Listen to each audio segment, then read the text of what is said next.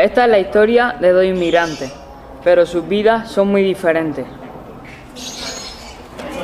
Hoy ha sido presentado el jugador más halagado en Europa.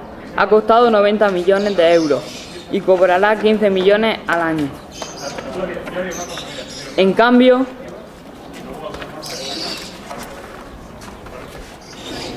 él también es futbolista y solo vive con 5 céntimos al día.